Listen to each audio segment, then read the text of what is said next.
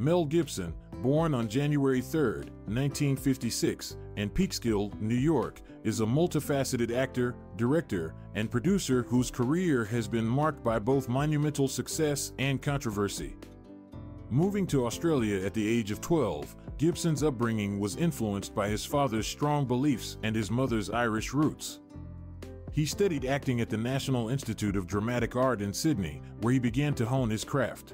Gibson's rise to fame began with his portrayal of Max Rockatansky in the dystopian action film Mad Max, 1979, which was a significant hit and spawned two successful sequels. His role as the charismatic and reckless cop Martin Riggs in the Lethal Weapon series, 1987 to 1998, further solidified his status as a leading Hollywood star. These films showcased his ability to blend action with humor and emotional depth, making him a favorite among audiences. Beyond his acting prowess, Gibson proved his mettle as a director with the epic historical drama Braveheart, 1995.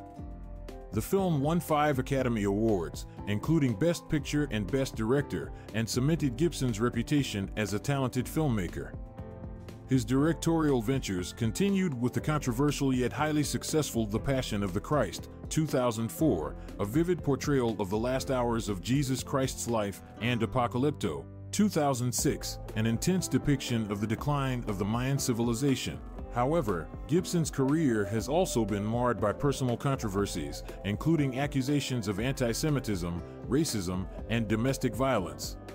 Despite these setbacks, he made a notable comeback with Hacksaw Ridge, 2016, a World War II drama that earned critical acclaim and multiple awards, including Academy Award nominations for Best Picture and Best Director.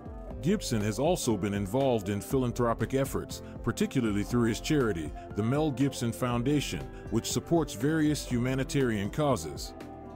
His commitment to storytelling and his resilience in the face of adversity continue to make him a compelling figure in the entertainment industry. Thank you for watching the video. You heard the story of a legendary man who is always in our memory. Subscribe to our channel and don't miss new video.